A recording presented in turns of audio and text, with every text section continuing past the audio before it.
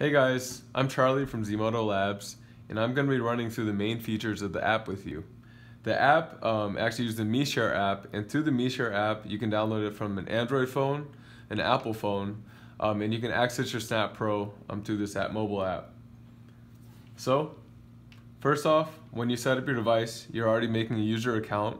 Um, all of your Zmodo devices are going to be bound to this user account. So right now, all you have to do is log in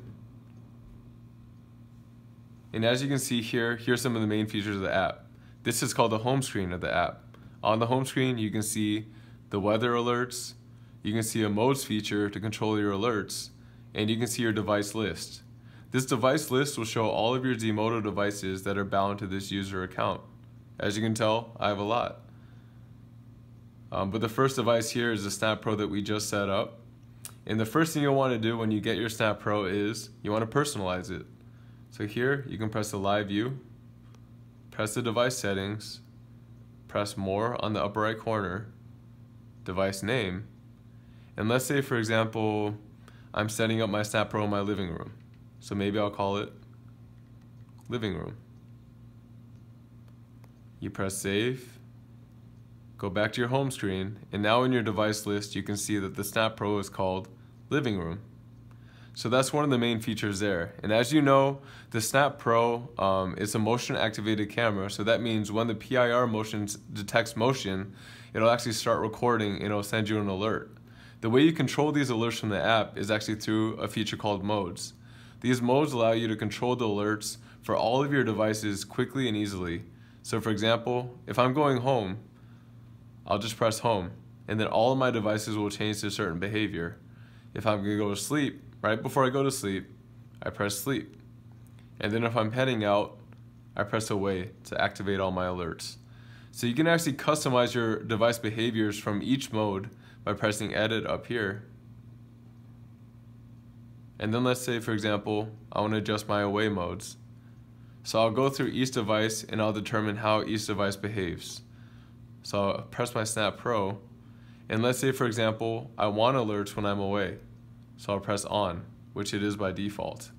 Or let's say I don't want it on, and I'll press off. And then you press save to complete it. You can do this for all of your alerts so that you set it one time in the very beginning, and then afterwards all you have to do is press one button to change your notifications. And now once you actually do receive a notification, you can check and review alerts at any time Snap Pro stores up to seven days on the cloud for all of your motion alerts. So you can actually check over here by pressing the alerts on your device tile. And you'll see a timeline of all your motion alerts. You can review these alerts at any time. So I'll press, for example, a motion that was recorded. And you can view these clips at any time. You can also download them, and then you can view them in landscape, or you can delete them. And now that we have that, we're going to go into our live viewing mode. You can actually access live video from Snap at any time um, by pressing this live button here. What will happen is, for example, if I'm at work, I can press the live view and I'm wondering what's going on in my home. It can wake up very quickly and after a little bit you can view the full 1080p 180 degree live view video at any time. So you can actually pan and tilt here. It's a pretty cool feature. We use the gyrometer on your phone and you can pan and tilt to view the entire view. You can also drag with your finger, oops. So you can also drag it with your finger or you can go to landscape and view all the video all at once. Um, so once you have that, you can actually record and you can take a snapshot of your video at any time. So here, let's say you want to manually record, you can start the recording by pressing the record button here. And then have some motion there. And now once you have the video and you caught what you wanted to catch, you can stop recording there. The video recording will be saved. You can also press a snapshot here. So here we go, and cheese. And there we have a snapshot.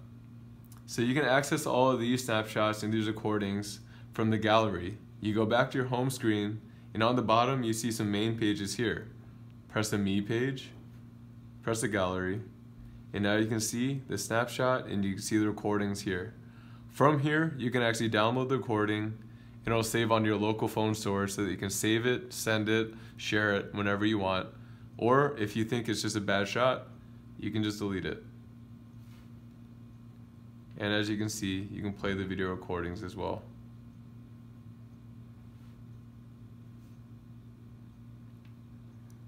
After that, I'll show you some of the major settings um, that you can adjust. Um, from your home screen of your Snap, all you could do is go to live view and you can change the brightness settings. So here, if the video is too dark or it's too bright, you can adjust it manually from these settings and it'll save until you change it next. After you do the brightness setting, you can go to the gear icon here for the device settings. In here you can see a few options. Um, first, for the night vision, the night vision, you can either set it as always off, always on, which means it will use the infrared lights to illuminate when you can't see in the dark, or you can do auto. When you set it to auto, the night vision will turn on automatically when it gets dark. You can make it less sensitive, normal setting, or very sensitive, depending on your preference.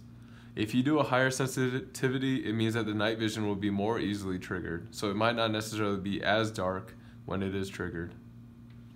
After that, you can change the device volume settings.